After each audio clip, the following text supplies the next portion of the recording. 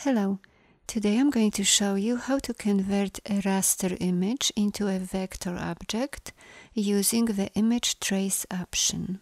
First, let me explain the difference between those two types of graphics. Here we have a raster image on the left and a vector image on the right. Right now you might not see much of a difference between these two images. Let's zoom in. A raster graphic, such as a GIF or JPEG, is composed of pixels, while a vector graphic such as an EPS file or Adobe Illustrator file is composed of paths or lines. Let's zoom in even closer. Because vector graphics are not made of pixels, the images can be scaled to be very large without losing quality. Raster graphics, however, become blocky since each pixel increases in size as the image is made larger. Let's place a raster image into our document. To do this, go to File, Place, find the image you would like to use and click Place. Before you do anything, take a look at the top toolbar. Now place your image. With the placed image selected, the toolbar will change, displaying specific information about the file and give you other options.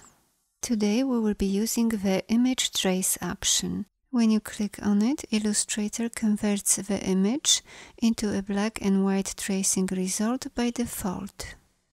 Let's undo it. By clicking on this little arrow next to the image trace button, you can select the basic tracing presets. Or you can go to Window and select Image Trace to open the Image Trace panel. When the image is selected, the options in the Image Trace panel become available. You can choose from Auto Color, which creates a posterized image from a photo or an artwork. High Color, low color, grayscale, black and white, or outline. Let's look at all the available presets. The top one is the high fidelity photo. Depending on your computer and file size, it might take longer to render it.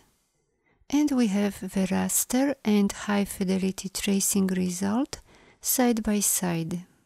Next, there is the low fidelity photo option, the three colors option, six colors, 16 colors, shades of gray, black and white logo,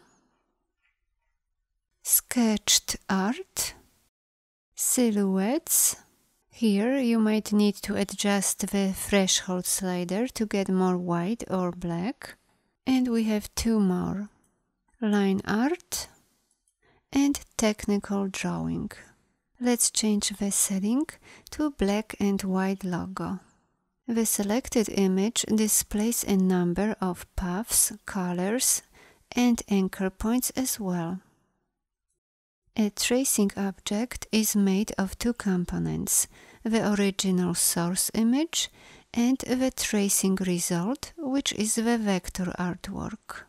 You can choose to view the tracing result, which is what we see, tracing result with outlines, outlines.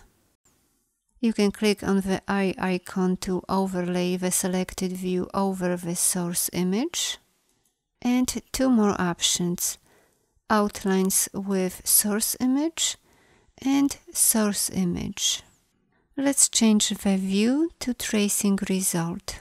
You can also specify a color mode or a palette for generating a color or grayscale tracing from the original image. Let's click on this arrow to open the Advanced pull-down menu. Here you can use paths to control the distance between the traced shape and the original pixel shape, Higher values create a looser path fitting, lower values create a tighter path fitting. Corners specifies the emphasis on corners and the likeliness that a sharp bend will turn into a corner point. A higher value results in more corners. Noise specifies an area in pixels that is ignored while tracing. A higher value results in less noise. For a high resolution image, move the noise slider to a higher value, and for a low resolution image, set it lower. There is also an option of choosing a different tracing method.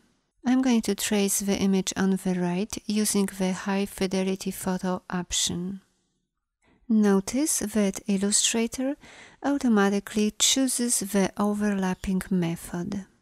Let's trace the image on the left using the high fidelity photo as well, but this time we will choose the abutting method. You can't see any difference yet. First, let me expand both images.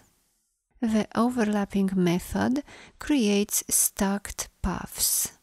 Each path slightly overlaps its neighbor. It can however produce some empty spaces. You can fix it by adjusting the anchor points. The abutting method creates cutout paths. Here the separate paths do not overlap and they fit like a puzzle. There is also an option of saving a tracing preset. To do this, Click on the icon next to the preset pull-down menu, give it a name and click OK. If you wish, you can also discard a tracing, but keep the original placed image.